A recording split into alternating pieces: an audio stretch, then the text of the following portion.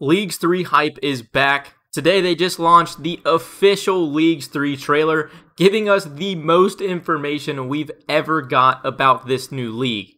We're now under two weeks until the launch day on January 19th. And in today's video, we're going to go through bits and pieces of this trailer and cover some of the biggest things they just revealed about Leagues 3. And here's the first place we're going to stop because we actually get a sneak peek of what the new fragment menu is going to look like as well as a sneak peek at a few of the newer fragments.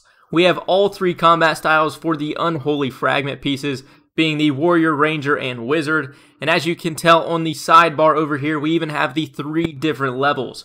In level 1, melee attack accuracy increases 5% with 0 prayer left, level 2 is 15%, and level 3 is 30%. And we can assume this is the exact same fragment as each of the ranger and wizards, just for the different combat styles. I don't know how exactly it's going to work, but as you can see, it says 1 out of 12,000. Maybe it's damage done, maybe it's something else, but I'm assuming that is the experience you need, and these are the hash marks right here for level 2 and level 3. Once you pass this, you would have a base level of level 2 for the Unholy Warrior, meaning you would move on to the 15% bonus, and then once you fully unlocked its capabilities, you'd go all the way up to level 3, getting the full 30% when you have zero prayer. And as you quickly saw there before they shoot to the next screen almost immediately, let's see if I can go ahead and stop it without having to slow it down. Right there. The set effect for the Unholy Warrior is Last Recall. Meaning if we have enough of these fragments with that set effect, we can then unlock the Last Recall ability.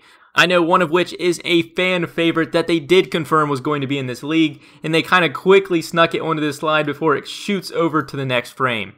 And if we jump a little further in the video, we actually get another sneak peek at even more fragments. These one include the Smooth Criminal, the Chef's Catch, and the Slash and Burn. Not to mention you can even see the bottomless quiver at the top, which has to do with ammo and range weapon charges. And as they scroll down, you can actually tell there's one for Mage and Melee for this category as well. I'm assuming it's something similar to how like the Abyssal Accumulator worked prior, where if you did use a magic spell or if you shot arrows, there was a percentage that you saved them or something along those lines. And I feel like the other three they revealed as well are pretty self-explanatory. The Smooth Criminal, you're going to have an improved pickpocket chance. We don't know exactly what that percentage is yet, but it is pretty self-explanatory for what it's going to do as a base effect the chef's catch, they actually do click on right before they switch slides. There's a 20% chance that any fish you caught are cooked, granting cooking and I'm assuming fishing XP at the same time. And then I'm sure slash and burn is something very similar and might even have the exact percentage chance that the chef's catch does. Apart from that though, one other thing I did want to note is there's actually seven fragment slots. One thing that I was under the impression of originally is I thought they told us there was six. So unless that's something they kind of snuck in and did recently, that or I just completely overlooked something they released prior because originally I thought there was only going to be six fragment spots. Whereas on this interface, you can clearly see there's seven. Quickly right there, they gave us a sneak peek at a few tasks that are going to be in Shattered Relics, being something like equip a Dragon Defender or even equip a Fire Cape. And they showed how in this league, gaining league points is going to unlock you additional fragment slots, I did want to notice before we move on though that at the very top you can see equipping a fire cape gives you 125 points. Something very subtle, but I did catch on. We've actually never had a 125 point task. So I'm very curious to see how they break down the points between tasks in this league in comparison to prior ones. Unlike in previous leagues, this time you have access to all of Gielinor. But there's a twist nearly everything is locked off. In the tutorial, you'll unlock the defense, thieving, and fishing skills, along with one combat skill of your choice. And there we have it. We actually didn't know if they were going to release this ahead of time or if it was just going to be something we got on release, but they did confirm the three skills we're going to be starting with, and that is defense, thieving, and fishing. And if you've seen any of the previous leagues teasers, You'll notice they also were giving us an additional choice at the start, which they just confirmed in that clip is going to be a combat skill of our choice. So not only are you getting the initial three of defense, thieving, and fishing, but then on top of that, you have the choice of picking an additional combat skill like range, magic, I'm guessing hit points, maybe prayer, but also strength and attack. But this league will also have a base XP multiplier of 5 times, will have unlimited run, and you can bank your clue scrolls in general, not just using a specific fragment or base effect this time around. It is going to be a basic ability. And if you just caught on, there's also going to be waystones, which are basically lodge stones from RS3, which are located in all of the major hub cities. They actually have a list of them right here in this part. Lumbridge, Fally, Varrock, Al Kharid, Catherby, Ardy, Brimhaven, Rellekka, the Ferox Enclave, Canifis, Prif, and Kourend, All of which have unlimited teleports at these waystones that once you unlock it the first time, you'll have access to it for the remainder of the league. Definitely a new feature you're going to want to take advantage of. And anytime you're near one of these hub cities, it might be worth just taking the extra few minutes to go out of your way to unlock a permanent teleport to that area.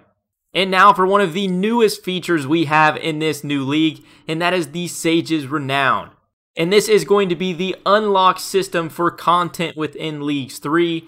And with every task completion you have within Shattered Relics, you'll also gain Sage's Renown alongside your league points.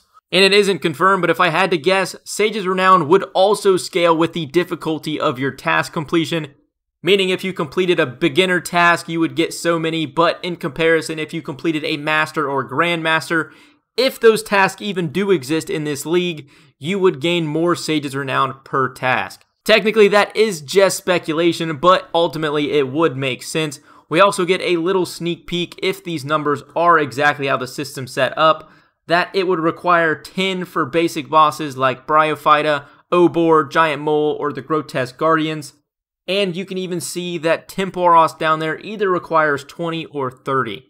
Sage's Renown is also the system you're going to be using to unlock additional skills, and it's not included on here in a little sidebar, but they do confirm it in the video that auto-completing quest is also going to be part of this system. Definitely something I'm going to take advantage of because I absolutely hate questing. And to round out towards the end of the trailer video, we got a look at exactly how one of these set effects is going to work. This set effects is Knife's Edge, and for every hit point missing, you deal additional damage in all combat styles.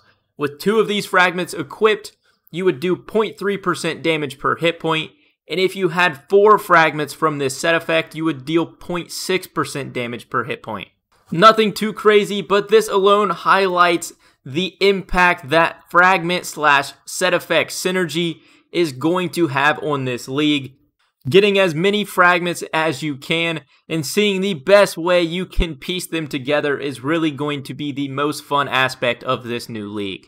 Leagues 3 is once again just around the corner and we're finally getting some more information and I couldn't be more hype. After a ton of additional waiting, I'm definitely ready to dive right in. If you guys did enjoy the video, make sure to drop a like on it. It massively helps me out. And if you want to see more Leagues 3 content, hit that subscribe button down below. We're going to have another video coming in just a couple days.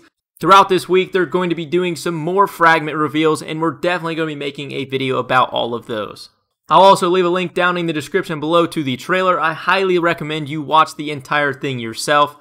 If this is the first time you've watched any videos on leagues, I did skip some of the basic information that we did already know in that trailer, so I definitely recommend you go check it out yourself. Either way, I hope you guys enjoyed today's video, and I can't wait to catch you in the next one.